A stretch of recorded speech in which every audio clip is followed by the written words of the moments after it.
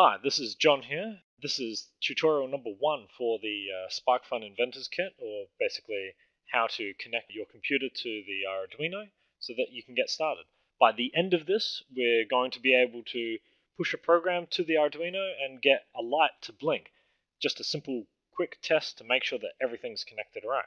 So first step is getting the software that you need onto your computer. So if you go to arduino.cc, I'll put the link up there and then go downloads. I'm running Windows, so I'll be doing the Windows installer. So I'll just pause here while we do this. Right, there we go. We've got the uh, Windows installer program. Let's open that up. Just check through this. It should be right. Click install to install this additional driver for it. Close that. Alright, so we should have the software on our computer now. So if I go Arduino, there it is. So let's start that up. So here, this is the Arduino IDE. Uh, basically, it's the programming interface. It's it's how we connect to it.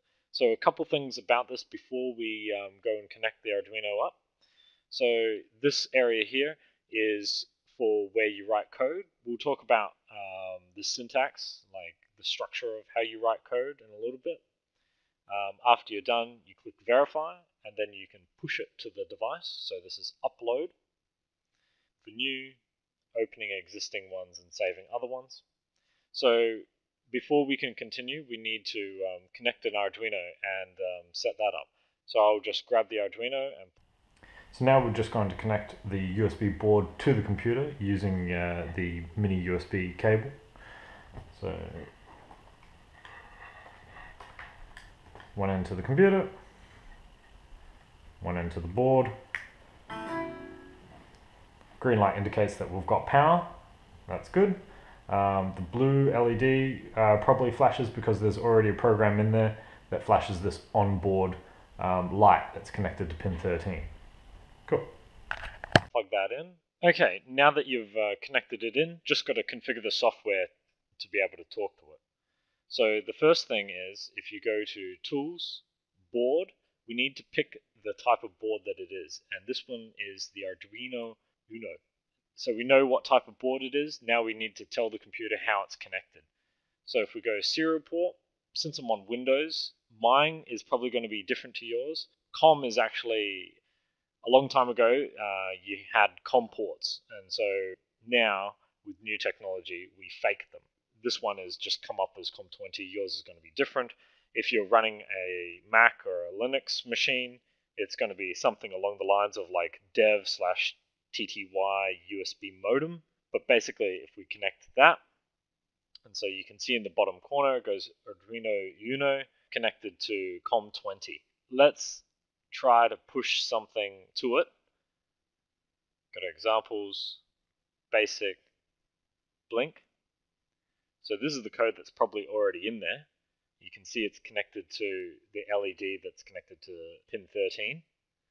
So if we upload that, probably not going to make any difference, but then we're just going to make sure that it uploads correctly, and it does. And now what we can do is we can start to change a couple things. Make that 500 push upload. And you'll see that the, the light is on and off for a different um, time period now. Just having a look through this, uh, this is a loop, so it continuously goes through this. It writes to the LED, go high, which is on, wait 500, so half a second, 500 milliseconds, and then turn the LED off, put it low, then wait one second. So when you have a look at the light, you'll see that it's on for a shorter time than it's off. And so we can change that around and make it a little bit more obvious as well. So if we change this to 2, so it's on for 2 seconds, off for half a second, push that, when we look at it now, you can see that it's on for a lot longer than it is off. So this just verifies that the board is, is working, everything's ready, and we're ready for the next step. We can go get additional codes and samples that we're going to be working through from uh, SparkFun themselves. So if you open up your browser again and go to sparkfun.com slash SIK code, downloads straight, aren't they nice? And then if we uh, go to where the the program is actually installed,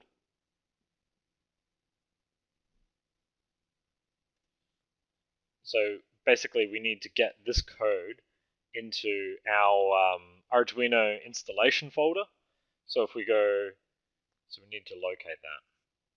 So it's going to be C drive, program files, 86, Arduino, and in the examples. So this example folder lines up with what you just saw here, file examples. So these are um, a, a code provided by others to, to get you started. I might have a few additional ones here um, because I've installed some others. So now we need to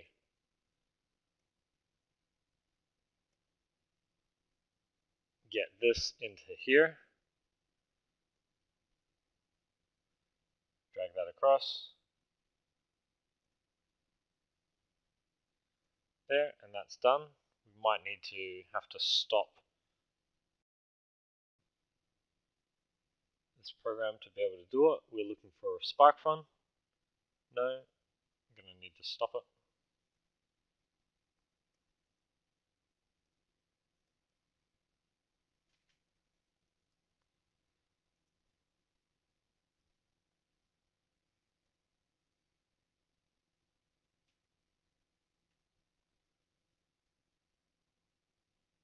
There it is. And so these are going to be um, the circuits that we're going to step through. Okay. Thank you very much. I hope you've um, got a working board right about now. And uh, we'll move on to the next. Cheers. Bye.